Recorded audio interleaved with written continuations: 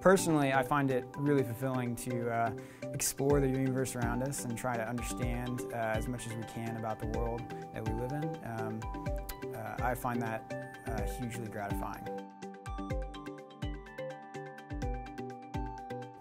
The, the, possibilities seem endless with a lot of the research being done. Uh, it seems like every day we're finding a new uh, um, way to describe the universe. Everybody can agree that investing in astronomy and uh, different fields of physics was uh, more than worth our while, uh, just from the technological uh, advancements and uh, being able to better understand our universe.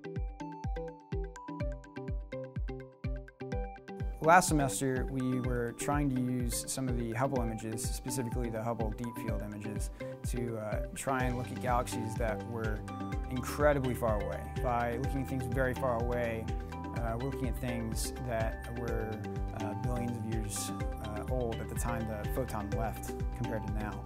So by looking at that, we are able to um, uh, examine very uh, old galaxies and um, by looking at different distances, we can see how galaxies evolved through different um, epochs and eras of the universe. I would definitely point to our uh, undergraduate research experience. Texas A&M Physics has a huge number of undergraduate opportunities in research, which can be hugely helpful.